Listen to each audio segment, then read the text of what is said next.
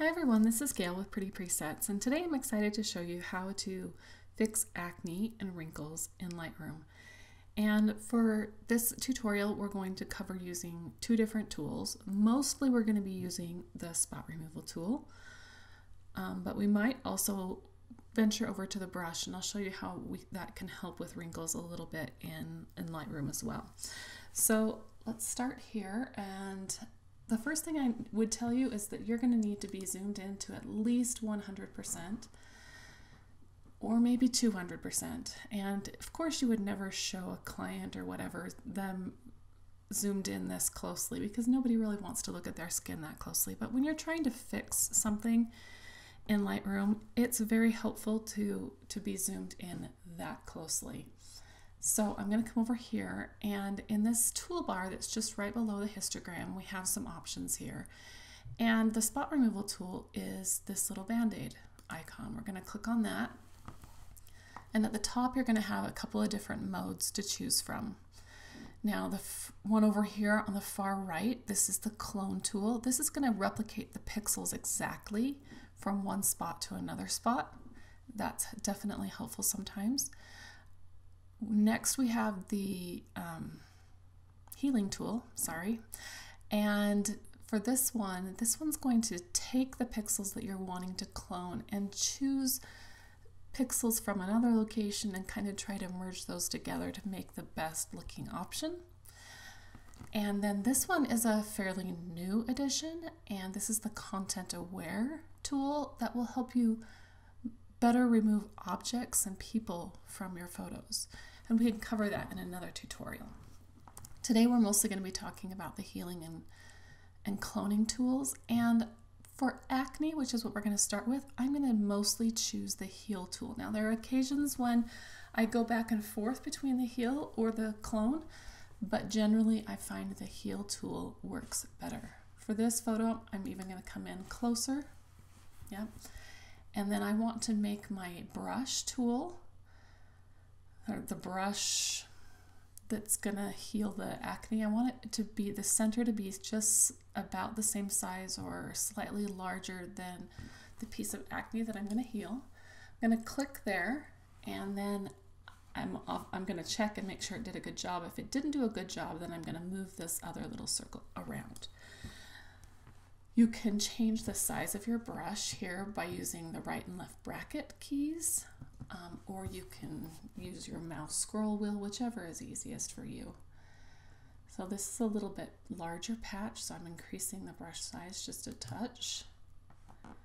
Now, um, I think it did okay, but I can see that there's some hair in that, and I would say that about 50% of the time, Lightroom gets it right.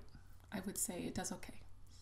About 50% of the time, I think Lightroom, what are you even thinking about the spot that you chose to clone from? So that is one tricky thing about cloning in Lightroom is I'm moving I'm, I'm moving things around often and making sure that I like what the option is and that it looks good and that I'm not adding something to my image that I don't want there or that I might need to clone out again. So I'm basically just clicking and looking and adjusting as needed and this is how I clone out acne. I'm not sure why it went up by your eye. I would probably come down here and look for an area closer. This is why I think sometimes I'm like, what on earth? That one doesn't look too bad, but I think it's too light. I'm to come down here and try to find something closer.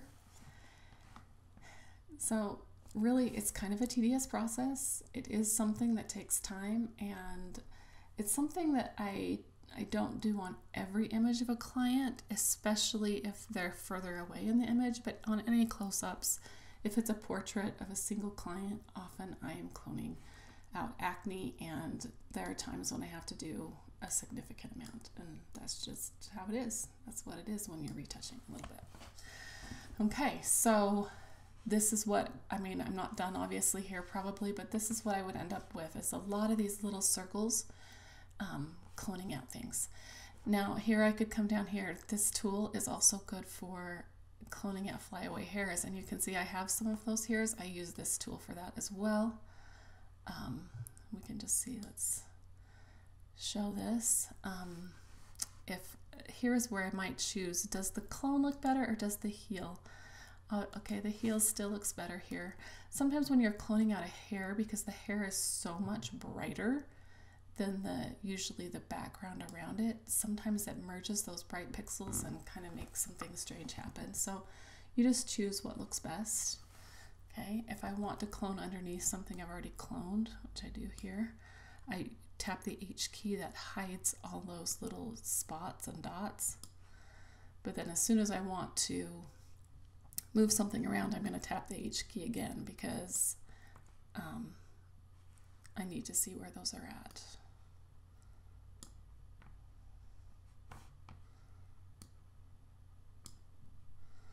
So you can do a pretty good job there of cloning out that hair as well. Okay, so let's go over and talk about wrinkles just a little bit. And we have a photo here of a more mature woman. And again, I would never show a client this close up because none of us want to see our wrinkles this close up or this in depth. But when you're trying to fix something, again, you need to have it. So here again, I'm probably going to stick with the heal tool, but possibly pull in the clone just depending on what looks best. For um, wrinkles, I'll probably tend to get a little bit larger brush.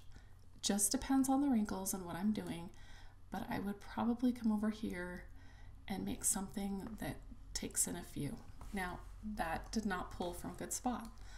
So I'm going to come up here and I'm going to move it. Now, if I do this too much, I'm going to end up removing all of her wrinkles entirely.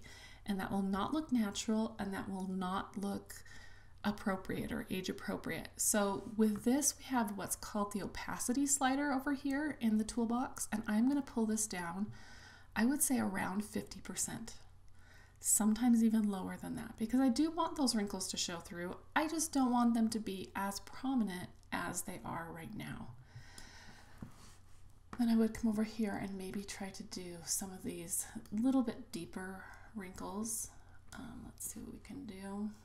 Uh, let's see, I would prefer something like this. Okay, at 50%, this one, it's still not looking perfect. I'm not sure that that is maybe too much. Oh, I didn't change the opacity on that one. That's why it's not looking right. Okay, so pull it down, see, to about 50%, where you're still seeing the wrinkle, it's just definitely not as pronounced. So that's how I would work with these wrinkles. Now I can do that for these wrinkles as well, but I'm going to show you another tip that I use often for wrinkles that are a little bit deeper like this, and that is to use the brush tool. We're going to come over here to the masking icon, which is in that same toolbar up here underneath the histogram and I'm going to create a new mask and I'm going to choose brush. Now, I have the Perfect Portrait collection from Pretty Presets, and in here there is a skin wrinkle reducer brush, which is like magic, and I use this often. So over here, I'm going to come and I want to make the brush fairly small so that it's still larger than the wrinkle, but not too much. And for the most part, I just, I want it to be tiny. And I'm going to come over here and I'm just going to trace along this maybe more prominent wrinkle right here. And you can see that the wrinkle shows because there's shadowing in that fold of skin. And when we are using this tool, we're kind of lightening that little spot. And I can do that down here. I might need even slightly larger, not too much. And if I still wanted to clone, I could, but this is kind of a, a really natural way to to lighten that area and maybe reduce some of its prominence, but not completely clone it out. I also use this um, sometimes in these folds between the nose and the mouth. Um, I might have to reduce it a little bit here because this might be even too much still come over and maybe we'll just reduce this just a little bit. Now for most of these clients, I will still soften their skin using a brush, but these are the things that I am doing to reduce wrinkles in Lightroom. And I'm really looking for more prominent wrinkles that I might reduce. And I will use a combination of the clone and heal tool and a brush to reduce wrinkles and I think that often this just helps a woman's skin just look a little bit more still natural, still age appropriate, but just a little cleaned up and a little more beautiful. And that's really what everyone wants. Now we can zoom out. We can come over here and turn off the tool and just make sure that everything's looking natural. We can check out a before and after. Let me pull back in my history and let's go back to um, before we did the, the healing and cloning here. Whoops, we're going to slow down a little bit. And you can see the before and after there where we can still see everything, but things are still looking pretty natural and still looking, you know, like herself, but maybe just a little cleaned up, just a little bit better. Anyway, hope this helps you as you are trying to fix acne and wrinkles in Lightroom.